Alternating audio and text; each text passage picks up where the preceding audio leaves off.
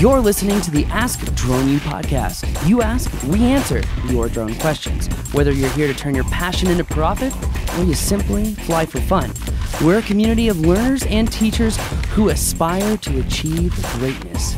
We are Drone U. Hello, everybody. Welcome to the Ask Drone U podcast with your host, Robin Paul. Yeah. I, I can't follow that, but I can just welcome you No, we're not to number 360. Yes, we are. We're rolling with this, Paul. You started it, and you're going to live with it.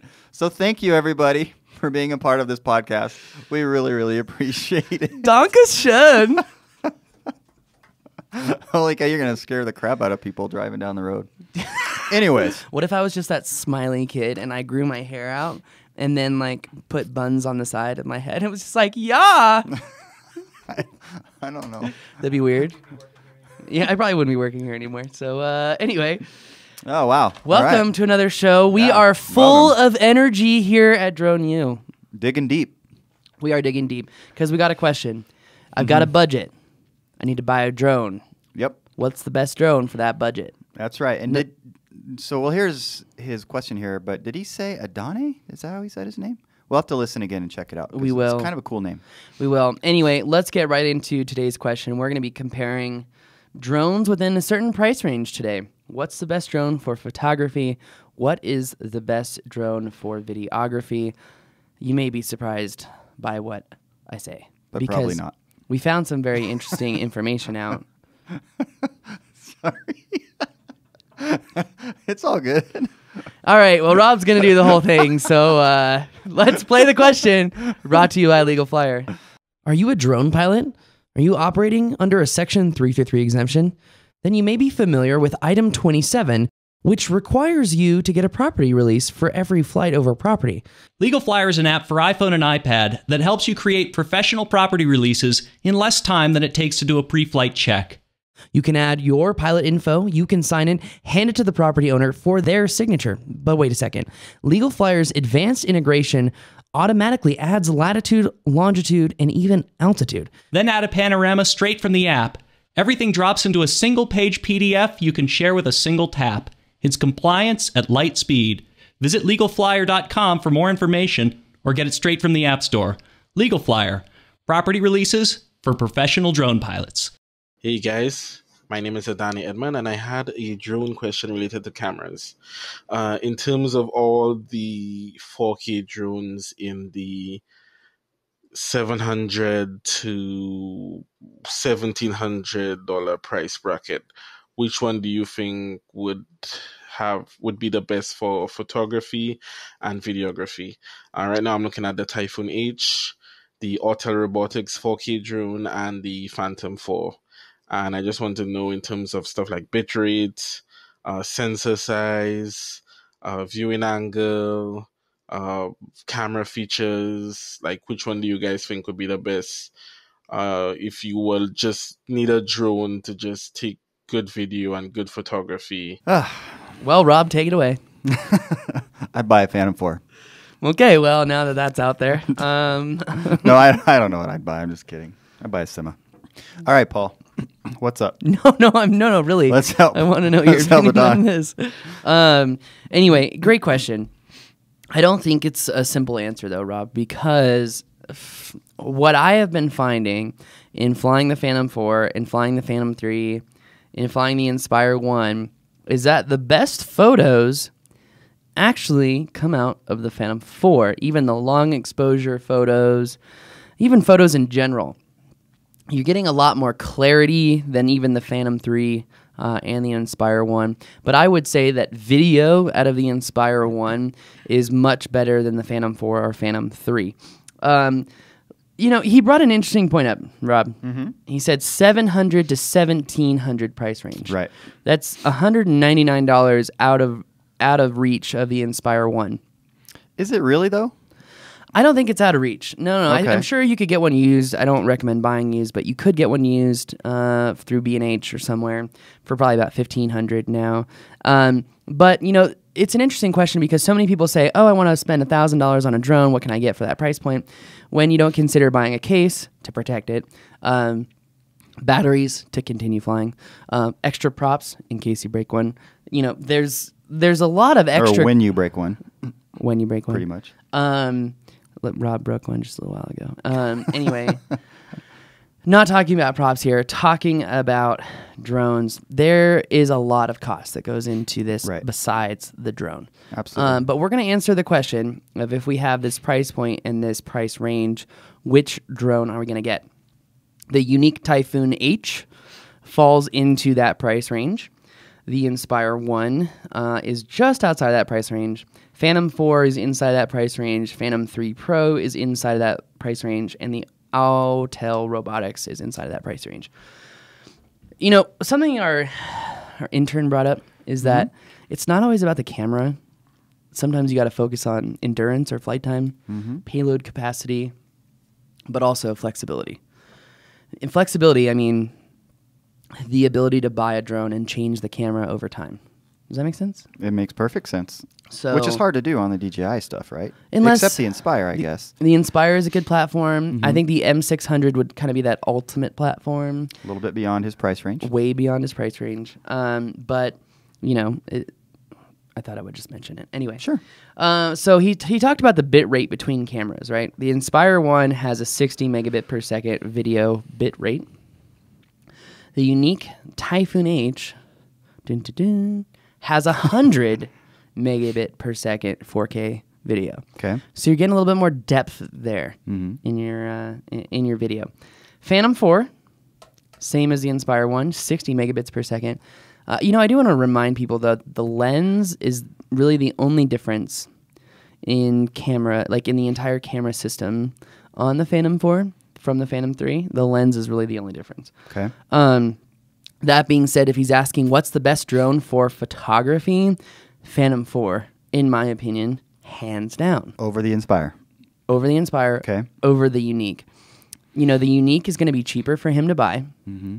There's going to be a tablet included in the remote, and he could get better video out of it than say an Inspire One. Okay. Here's the here is where my main concern would be. Flight time. I haven't had the chance to test out the Typhoon H. We get to do that. In fact, tomorrow, when you hear this podcast air, we're actually going to be doing the test tomorrow. Um, and we get that opportunity to truly test, you know, its flight time, its capability, what can it really do, Sure. what can it really film. We're really excited about that. And special thanks to Trent Sigurd, who has set that up. We really appreciate it. Um, but as far as you know, if we're going based off of camera here, I'm, I'm going to say that the Typhoon H is pushing some better specs. Mm-hmm. Um, I personally use the Inspire One uh, just because it's more flexible for me. Right. I can travel with it very easily. I know you can do that with the Typhoon H as well. But my issue too is staying up in the air for long periods of time. Sure. And the Inspire One has a 6S battery instead of the Typhoon H has a 4S battery. Which translates into how much time? That it's not really a direct translation into time. It's really a direct translation into available voltage. So on an Inspire battery, we're pushing 22 to 24 volts.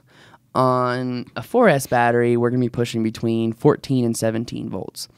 So the available power is less, meaning that if if we're running six motors on a 4S battery, we're going to be drawing a lot more amperage than if we were using a 6S battery. Mm-hmm. Does that make sense? Makes perfect sense. So there is kind of a correlation to flight time. Yeah, you're going to get less flight time, but I have never gotten 25 minutes on my Inspire one ever, ever, ever, ever. I've gotten maybe like 21, but that was at sea level, and I was not really flying around very much. Is there going to be a trade-off between pushing the resources to run six bat to run six motors, but those motors maybe aren't working as hard because it's got six of them instead of only four of them? That is correct, yes. Um, but also, the benefit of the Typhoon H is the safety aspect. You know, you could literally lose a motor and bring it to the ground. Right. It's not going to fly like you think it's going to, but it is totally possible to bring it to the ground safely. Right. So there is that aspect and that factor as well. Um, So how does the P3P stand up to uh, the P3 Pro. the P3 Pro stand up to all of this? P3 Pro is 400 bucks cheaper than the Phantom 4 and is about 300 bucks cheaper than the Yuneec Typhoon H as the basic platform goes. Mm-hmm. Um, the Phantom 3 takes better photos than the Inspire 1. Okay. If anyone wants to argue that, we'll send you some photos and show you. Um, I mean, it really does take better images. Even Sam and I have gone out and discovered this, um, especially the long exposure. Uh, I mean, it's just so much better on the Phantom 3 Pro. So if we're talking to it on, and he's, you know, the seventeen hundred dollar price range is the very top limit, and he absolutely does not want to go over that. And we understand that he needs to buy accessories and batteries and cases. Maybe the Phantom Three Pro is the best option because of what he can get for the money. Or I know you like to just tell people, and it makes sense. I understand why. No, just save a little bit more money and then do this. I am one to say that because Mm-hmm. that's what I've done myself. Um, you know, one of the questions that he had asked was, "What's the best sensor size? What's the best drone for photography? What's the best drone for videography?" If we are not moving past the seventeen hundred dollar price point, the best drone for photography is the Phantom Four, and I would say the best drone for videography would be the Yuneec Typhoon H. Okay. So Wow. that's if we are sticking All to that price point. typhoon people out there, I want to hear the good comments because of that comment. Rob reads all your negative comments, Yuneec people. So. That's right. Make it a unique day and leave some positive comments. Please.